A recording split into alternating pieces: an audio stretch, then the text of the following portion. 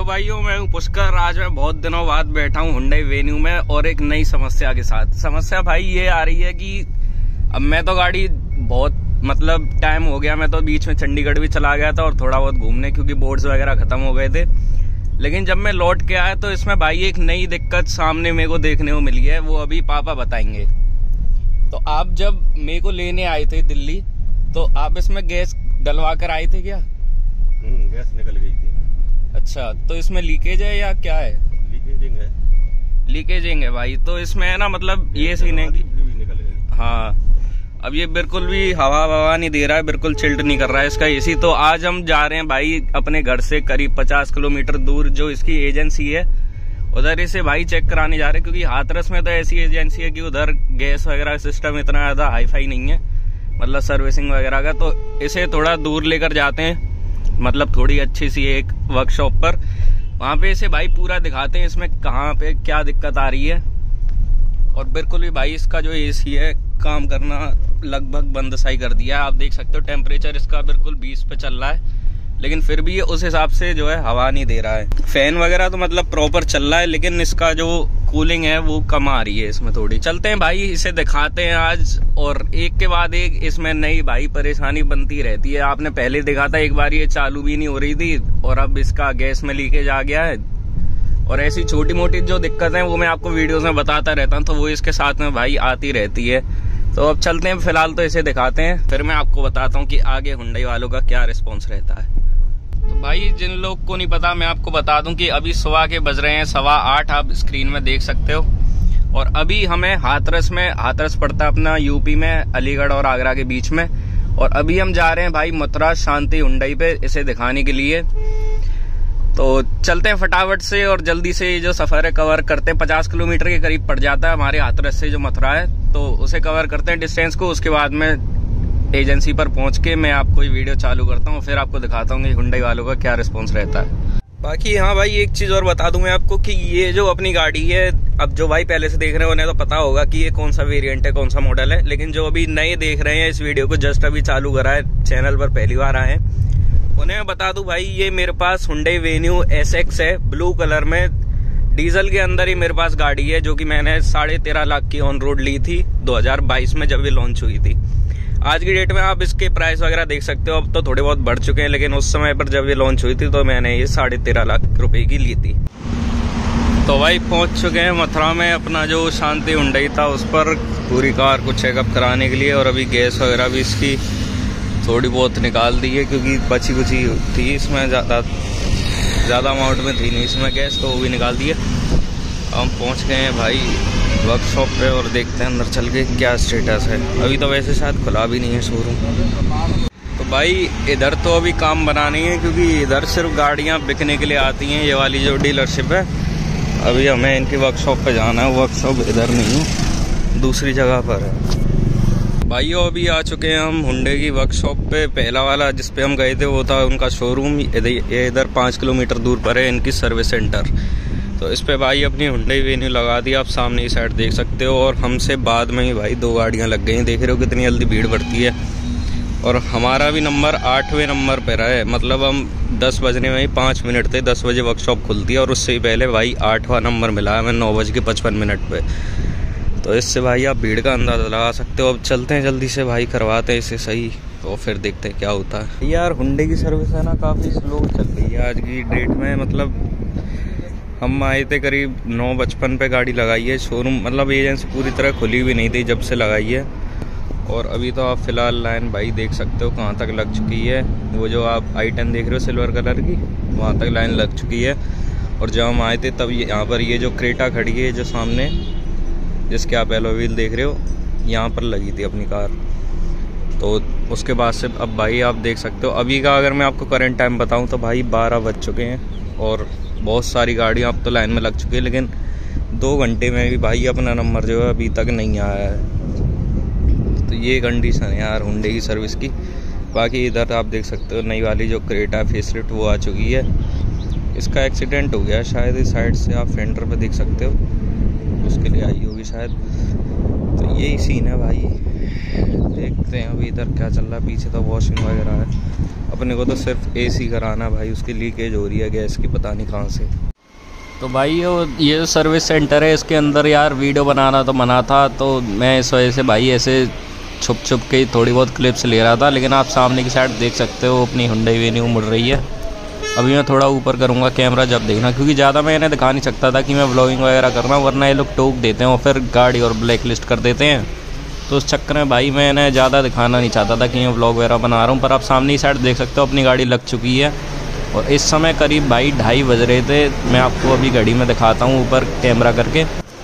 तो ढाई बज रहे थे और ये इन्होंने पाइप वगैरह लगा दिया था, ये एसी का चेकअप वगैरह करने के लिए कि कहाँ से लीकेज हो रही है। और आप घड़ी में देख सकते हो भाई ढाई बज चुका है ऑलमोस्ट तो इतने ही बज गए थे भाई, हम सुबह दस बजे आए थे और टाइम आप देख सकते थे, ढाई बज चुका था।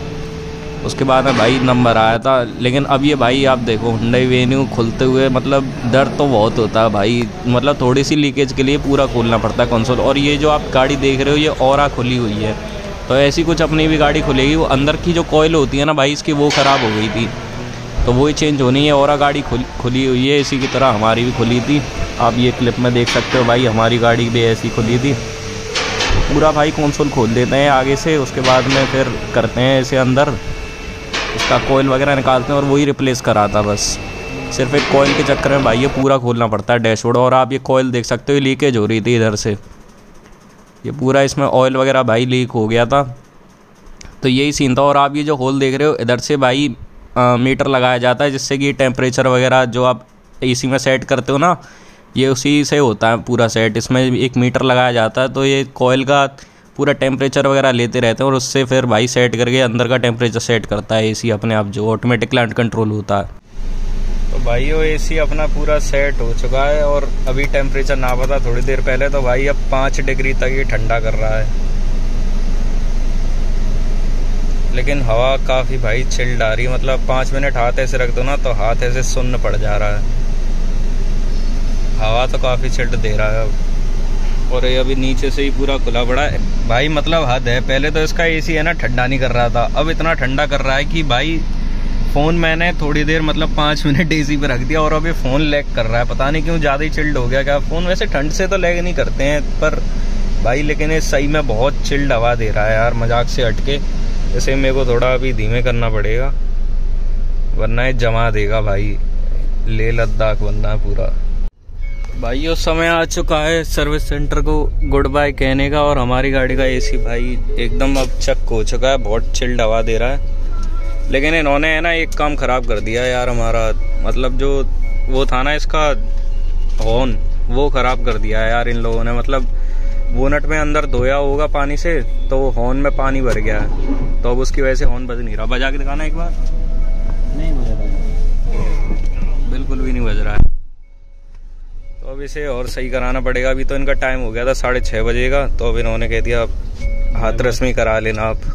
तो भाई हुंडई वेन्यू अब देखो, अब मैं वीडियो कंक्लूड कर देता हूँ। हुंडई की सर्विस में रियलिटी आपको बताता हूँ कि क्या सीन हुआ था आज।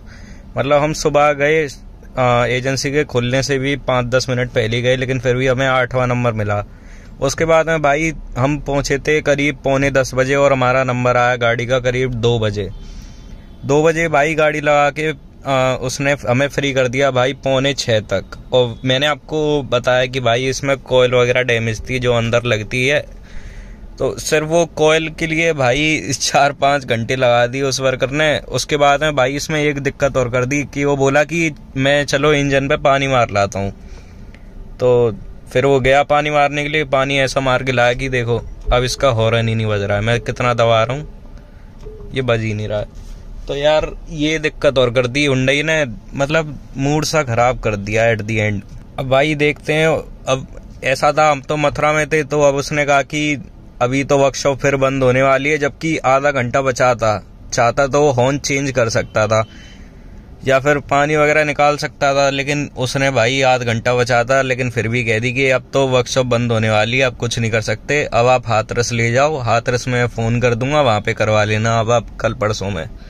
तो भाई ये सीन रहा यार, आज का मतलब हुंडई ना कभी भी ऐसे नहीं भेजती आपको कि बिल्कुल ही सेटिस्फाइड करके भेज दे अनटिल एंड अनलेस आप अगर कोई डिलीवरी नहीं लेते तो। डिलीवरी जिस दिन लोगे ना भाई, उस दिन तो एकदम ऐसे प्यार से खुश करके भेजेगी कि जैसे पूछो मत। लेकिन अब वो ये आज हम सर्विस करवाने गए तो आप भाई आज का हाल आप देख सकते हो, पूरा दिन ही लग गया और अब करीब साढ़े आठ बज रहे हैं और अभी हम मथुरा से निकल पाए। खैर, बीच में थोड़े बहुत काम के लिए भी रुक गए थे। लेकिन एजेंसी से भाई देखो, सुबह पौने दस बजे आए पूरा नंबर वगैरह सब लगवाया गाड़ी का। और उसके भी बाद भाई साढ़े छः बजे जब वो एजेंसी बंद होने वाली थी, तब निकले। मतलब छः बजे तो उसने मनाई कर दिया कि अब होन में कुछ नहीं हो सकता, अब तो बंद होने वाली और साढ़े छः तक हम भाई वहीं रुके रहे कि क्या पता हो जाए, जब तक एयर प्रेशर वगैरह दिखवाते रहे गाड़ी में। लेकिन तब तक भी भाई कोई भी रिस्पॉन्स नहीं था, फिर हम आए गए, साढ़े छः बजे वहाँ से निकल ही गए एजेंसी से। तो ये था भाई रिव्यू लेकिन देखो एसी जो ठीक कराया था ना एसी प्रॉपर भाई वर्क कर रहा है। अगली चीज़ ये भाई की सर्विस यार देखो, थोड़ी सी सुधारनी चाहिए उंडई को। लिटरली मतलब ऐसा है ना, बहुत कंजूसी सी करते हैं हर चीज़ में। आप उनका वो देखो ना, जैसे जहाँ पर हम, जो उनका रेस्ट रूम था उसमें भी भाई उन लोगों ने पंखा एसी वगैरह उन्होंने एक बजे के बाद चलाया है। तो एक बजे तक भाई इतनी गर्मी सफोकेशन थी, उसके अंदर की पूछो मत। सिर्फ़ जो वर्कर थे ना, उनके ऊपर जो पंखा लग रहा था, सिर्फ़ वही चल रहा था।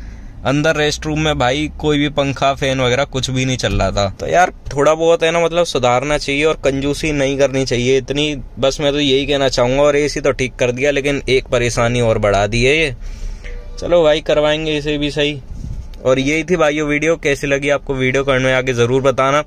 और एक चीज़ और बताना भाई, आप पे भी अगर हुंडई की गाड़ी है तो उसमें क्या एसी की कोयल की दिक्कत आ रही? क्योंकि मैं जब वहाँ करवाने गया ना तो वहाँ पहले से भाई सात आठ गाड़ियाँ लाइन में लगी हुई थी और सबकी सेम दिक्कत थी कि एसी में ही दिक्कत है कूलिंग नहीं दे रहा या फिर गैस लीकेज हो रही है या कोयल में दिक्कत है, ऐसी दिक्कतें आ रही थी सबकी। तो अब भी भाई बताना, अगर आपके पास हुंडे की गाड़ी है तो एसी का क्या आपका रिस्पॉन्स रह रहा है?